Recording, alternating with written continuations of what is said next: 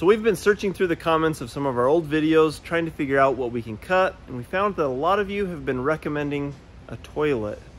So, why not? We also figured that a lot of you are probably sitting on one of these while watching this video right now, so it just seemed very appropriate. I know, I watch YouTube on the toilet. Do you watch our channel on the toilet? I've never watched one of our videos.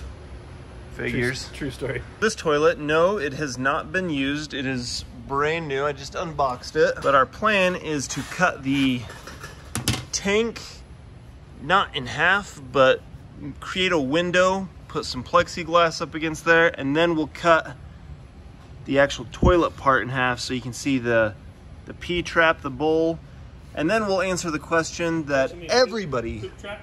the poop trap and pee. And then we'll answer the question that everybody's been wondering, can you flush half a toilet? I'm thinking it'll kind of do like a weird swirl like off to the side and create like a new center. But yeah, I'm not sure. Will it actually be able to flush some Does the, substance though? does the toilet need to be round to flush? Yeah. Yeah.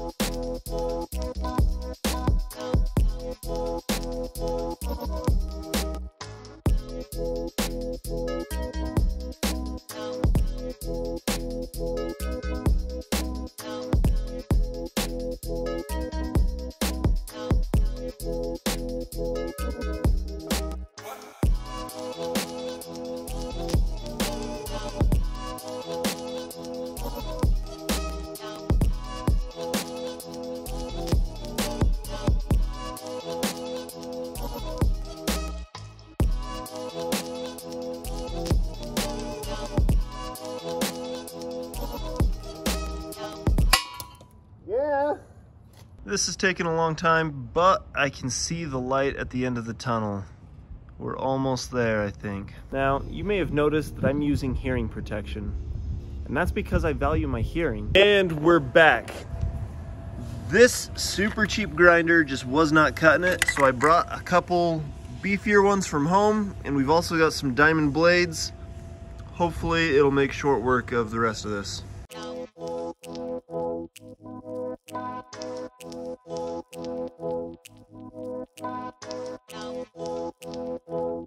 Somebody called me on my phone and it stopped the recording, but this is how far we have got. My first thought is uh, that poo pipe part right there, that just looks like it's asking to be clogged. Yeah, like this sharp corner here, and then this little shelf down there. Like, what are you thinking here? I mean, we're no toilet designers, but it just looks, it just looks like a bad design.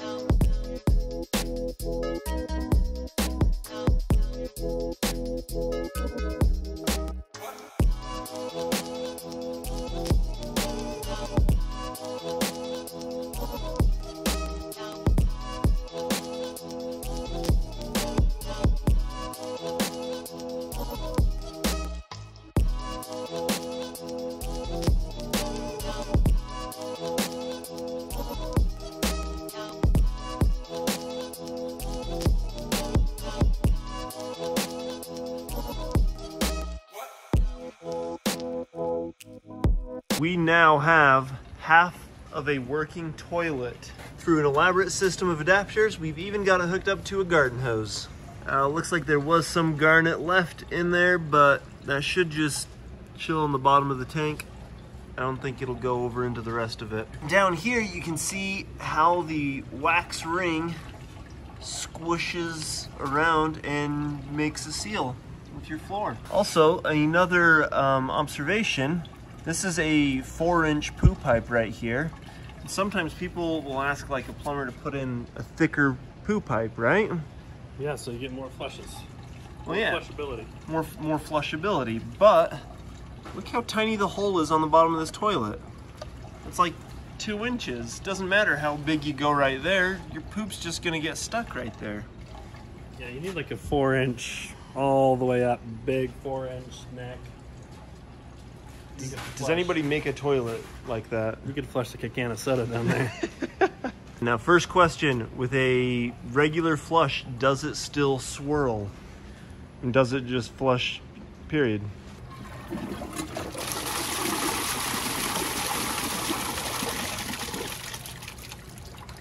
Did it swirl? Not that I saw. All those holes up in there, they're all cut on like an angle or drilled on an angle so that it kind of forces the water to start the swirl. And it still does that, but then it hits the plexiglass and and that's it. So half a toilet will flush nothing, but to really test it, we've got these brownies now that, You missed the plot.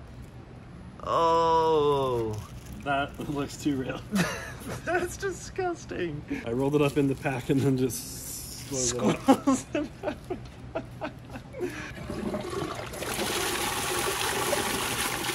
It went down. Half a toilet will flush. kind of surprised me. What are we doing?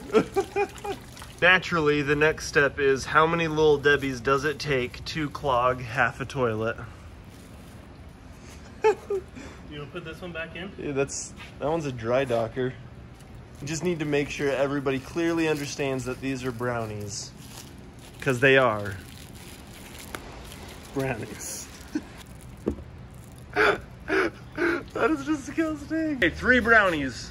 Will it clog? Oh, they're sticky. Uh-oh. Double clog. Ooh, we're all familiar with that, where the water level goes down low and then it starts like blurping a little bit. You get to this point, what do you do? You naturally flush it a second time. Second flush. Uh, Oh, oh, oh, oh, it's so close, it wants to. we back at the level. Okay, at this point, You see the crumbs, you know you're in for it. you wonder, do you try another flush? or is that gonna back up? overflow it?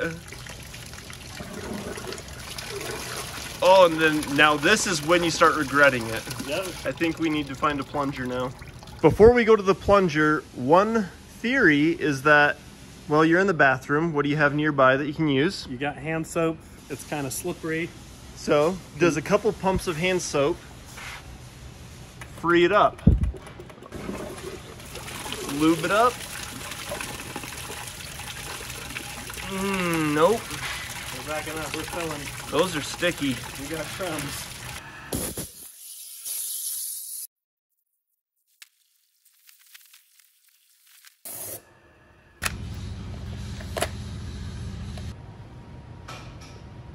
Oh no.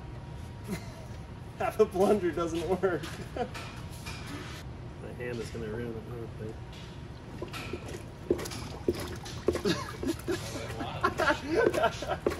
Get some more water in there.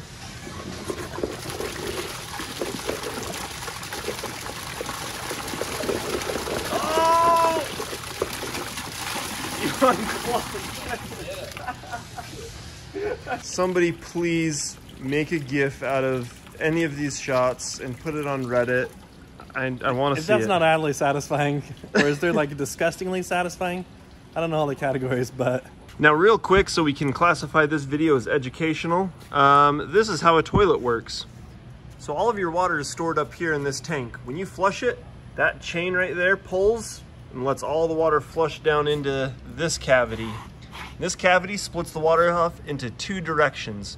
One, it goes around the ring of the bowl and comes out these holes that you see under there. The other bit goes down through there, it goes around the back, comes in here, and then it pushes through that hole, and that's the flush assist jet. I don't know what the technical term yeah, is this for is that. pressure from the bottom. You got water coming from the top, pushing everything. So that helps push along. it up. Here's where we saw the most of the clogs. But down here is where you have all the poop smells. But you're blocked from the poop smells by the level of the water, so the gases can only come up to here. And that's called a trap. Your sinks have them, your toilets have them, your showers have them. Any plumbing in your house has a trap to keep those sewer gases out of your house. If you drained all of the water out of here and then left your toilet like that for a while, it would start to smell real bad real quick. Kind of a genius design, I think.